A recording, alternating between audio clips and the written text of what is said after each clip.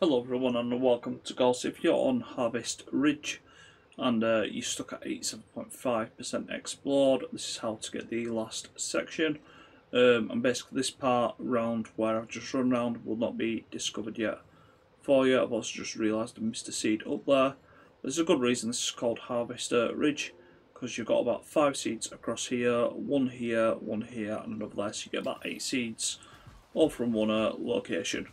Um, so to get up this part um, from where you meet one of your, I think it's the stable person, I can't think who it is now. Um, where you meet one of your friends in this location, you want to just head out and there's this ridge up here. You will need a Nekko to access it.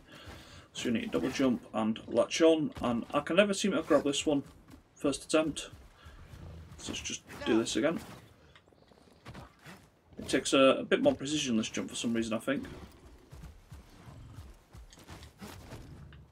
If you go too late, that happens. But if you go too early, that also seems to happen to me. Hmm. Let me just fail for a second or two. This is the way up, I do promise. Why can I not get up here?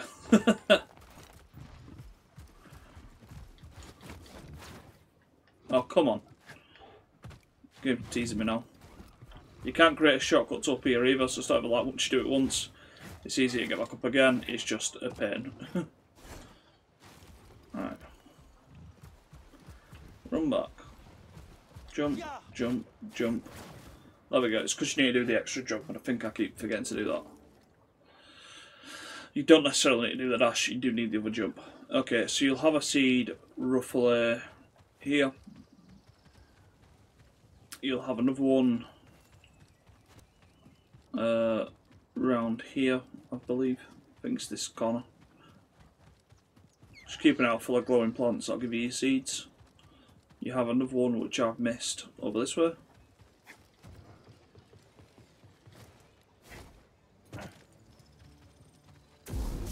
There we go. Would want to see these seeds in the garden, but she knows something too. Just going to kind of nip my way up there.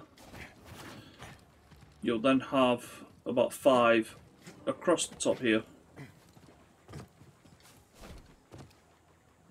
Just spread across this entire top area. And I'm going to go back. I'm just going to make sure on the map I've not missed another seed up top. I haven't. Wonderful. So just going to come back down. Water on across here jump to that pole, jump and dash, bring you across, and then you'll have a chest in this location across the back as well. That's everything, and then you can use the glider to get down, or you can just drop back down to your neck if you want to continue exploring around the area. I do hope that this helps, and please enjoy, like, comment, and subscribe.